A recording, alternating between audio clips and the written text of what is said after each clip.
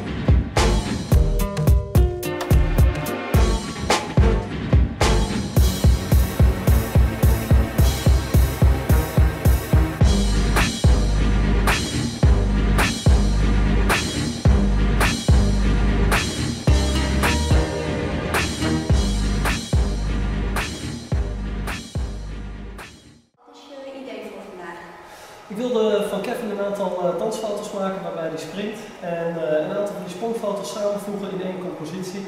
Dan zetten we bijvoorbeeld uh, drie sprongen naast elkaar in een panoramafoto en op die manier ontstaat daar een totaalbeeld. Dankjewel.